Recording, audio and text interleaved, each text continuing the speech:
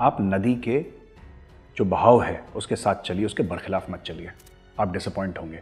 Keep Afghanistan unstable it is in your benefit जिस दिन Taliban stable हो गया, उसके छः महीने के अंदर ये कश्मीर में कार्रवाई करने की कोशिश करेगा। ये आज मैं आपको बता रहा हूँ बता हूँ कि भारत के मफाद में है, भारत के इंटरेस्ट्स में है कि अफ़गानिस्तान को, कौन सा अफ़गानिस्तान? तालिबान का अफ़गानिस्तान। उसको अनस्टेबल रखो। जब तक ये लोग आपस में काटते रहेंगे, इनकी नज़र इंडिया पे नहीं पड़ेगी। जिस दिन इन्होंने मारकाट बंद कर दी जिस दिन ये पीसफुल हो गए।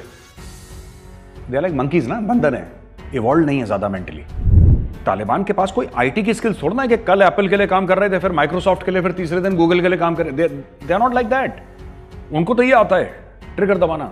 हेलो दोस्तों, जय हिंद, जय भारत। कैसे हैं आप सब? कमेंट में ज़रूर लिखिएगा। बताइएगा हमारी वीडियो कैसी लग रही है आपको। दोस्तों, वीडियो पसंद आने पर हमारे चैनल को सब्सक्राइब करें, जिससे हमारी वीडियो आप तक पहुँचती रहे। आपके सपोर्ट्स की हमें ज़रूरत। इसको मारा, उसकी हत्या करी, उसका गला काटा। उनका एक्सपर्टीज उसमें भाई। तो जिसको तालिबान में जॉब पसंद नहीं आया, उसने इस्लामिक स्टेट ज्वाइन कर लिया। जिसको इस्लामिक स्टेट पसंद नहीं आया, उसने तहरीक तालिबान पाकिस्तान ज्वाइन कर लिया। किसको कुछ पसंद नहीं आया, उसने दाइश ज्वाइन कर लिया कुछ ज्वाइन कर लिया। यही, इनके तो जॉब अपॉर्चुनिटीज़ जॉब रोल तो इधर ही घूमते रहते हैं। कहीं भी घूम सकता है, क्योंकि इसको आइडियोलॉजी एक जैसी मिलती है। आइडियोलॉजी तो एक है उनकी सबकी। ये तो दोहा में जो जूस पीते थे, जो जूस वाली फौज है ना अफ़गानिस्तान की, ये तो जूस वाली फौज है जिसको परेशानी है कि दुनिया के सामने अच्छा चेहरा दिखाओ, दुनिया के सामने सब भला भला रखो, क्योंकि उनको पैसे चाहिए। जनरल फैज को, जनरल फैज ये नहीं देख रहा कि क्वेटा में अटैक्स क्यों हो रहे हैं, हमारे फौजी क्यों मर रहे हैं? वो सरकार बनाना जा रहा है काबुल। ये वो जैसे कि इमरान खान की सरकार बना दी, एक selected prime minister selected Baradar भी यहाँ पे शुरू कर देंगे। गेम वही है इनका, कि एक ऐसी सरकार इकतदार में हो काबुल में, जो पाकिस्तान के इशारों पर नाचे दोस्तों, मैं हूँ मेजर गौरवारी और आप देख रहे हैं डिफेंसिव ऑफेंस लाइक करिए सब्सक्राइब करिए और बेल आइकन दबाना बिल्कुल मत भूलिए। बाकी जो हिंदुस्तानी है, मैं आपसे रिक्वेस्ट करूँगा, आप सपोर्ट करिए डिफेंसिव ऑफेंस को। हम कंटेंट आपके लिए ऐसे लाते रहेंगे, सिर्फ़ मैं नहीं, और भी एक्सपर्ट्स हैं, और भी पैनलिस्ट हैं, आते रहेंगे, आपके लिए टॉप क्लास कंटेंट लाते रहेंगे। आप सपोर्ट करिए, नीचे लिंक है लिंक पर जाइए, आप सपोर्ट करिए, और पाकिस्तानियों को ये कहता हूँ कि सुनिए, आप रिपोर्ट करिए। मैं चाहता हूँ आप और रिपोर्ट करो, आप ये वीडियो भी रिपोर्ट करो। ठीक है? लेकिन एक बात ध्यान रखना आके देखना डिफेंसिव ऑफेंस क्योंकि बेटा, जलील तुम यहीं पे होते हो। जय हिंद। स्टोरी ऐसी हुई कि मुल्ला बरादर को पड़ गई गोली। उसको गोली मार दी मुल्ला बरादर को। किसने मारी? हकानियों ने मारी। वही हकानी जो पाकिस्तान के जिगर के टुकड़े, जो पाकिस्तान के सगे और तालिबान का हिस्सा। हकानी कोई दी थी ना? पूरा काबुल का संभालना सिक्योरिटी वगैरह। उसी हकानी ने अपने बॉस को गोली मार दी मुल्ला बरादर ने। डिफेंसिव ऑफेंस के वीडियो में यही बात बोली थी कि बकरा कटेगा, तब बटेगा। तो बकरा तो कट गया। पंद्रह अगस्त को बकरा कट गया। लेकिन बट नहीं पाया ठीक से अभी तक। क्यों नहीं बट पाया? क्योंकि इकतदार की भूख है।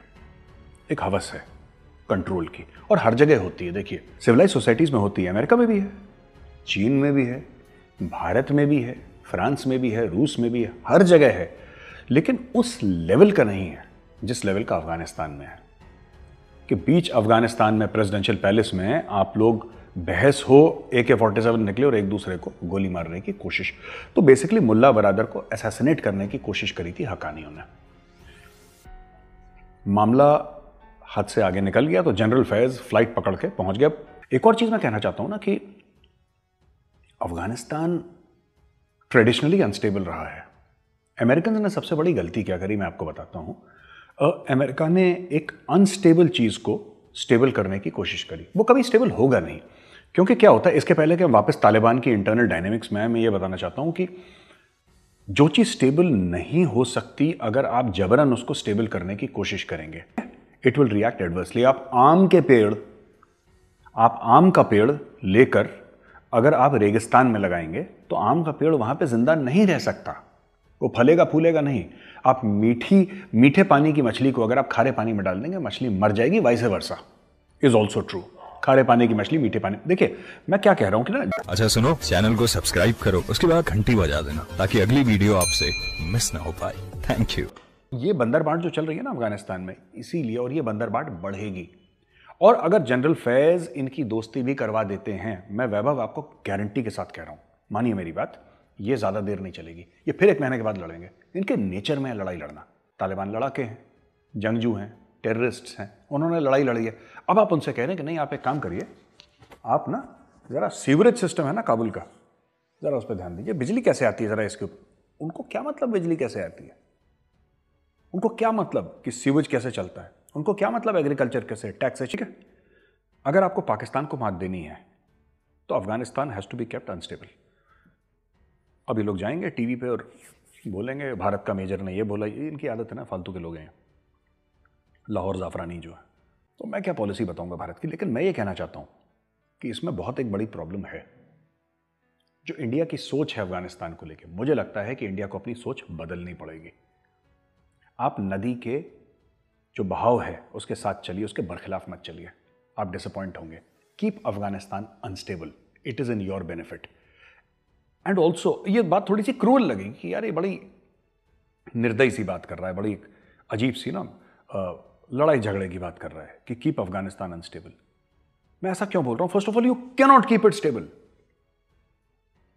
रूस ने कोशिश कर ली, अमेरिका ने कोशिश कर ली, अब तालिबान भी कोशिश कर रहा है। You cannot keep it stable except the fact that you cannot keep Afghanistan stable and help in destabilising करते रहो उसको।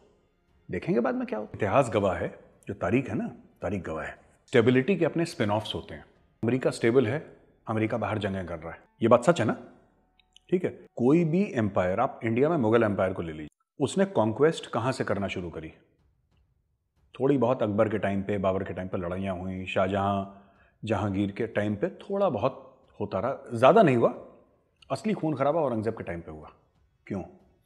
इसलिए नहीं कि वो एक रिलीजियस फैनेटिक था। बात ये होती है कि जब स्टेबिलिटी आ जाती है ना, तब आपको आइडियाज़ आने लगते हैं। तब आपका दिमाग चलने लगता है कि अब क्या करूँ? पैसे तो आ रहे हैं मेरे पास, अब क्या करूँ? What next ambitious people are very dangerous when they become stable की तारीख में तो कश्मीर के बारे में वो कह रहा है कि जी ठीक है, कोई बात नहीं, मुसलमानों के हक की बात करेंगे, ये करेंगे, वो करेंगे, उसको और पाकिस्तान के प्यादे वहाँ पर बैठ जाते हैं। पाकिस्तान को क्या चाहिए? यानी कि रेफ्यूजी क्राइसिस ना हो तहरीक तालिबान ख़त्म हो जाए हमारे वेस्टर्न बॉर्डर शांत रहें।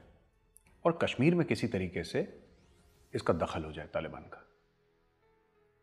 जिस दिन तालिबान स्टेबल हो गया, उसके छः महीने के अंदर ये कश्मीर में कार्रवाई करने की कोशिश करेगा। ये आज मैं आपको बता रहा हूँ, ये दिक्कत हो जाएगी बहुत ज़्यादा आपको।